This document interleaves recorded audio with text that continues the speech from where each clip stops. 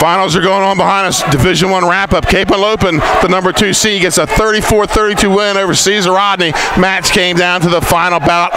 All 14 mats, bouts battered in that match. So Cape Henlopen will return to the state finals. I told you, Salesianum is going to be a, a, tough team in this tournament. They're a dangerous number four seed. They beat Sussex Central 29 28. Matches are going to start 2:15. So that gives us number two or Cape Henlopen versus number four Slade in Division One, and number two DMA and number one Caravel in Division Two. Matches are going on right now. You can follow it on Track Wrestling, Flow Wrestling on the NFHS Network. Benny Mitchell for Delaware Live.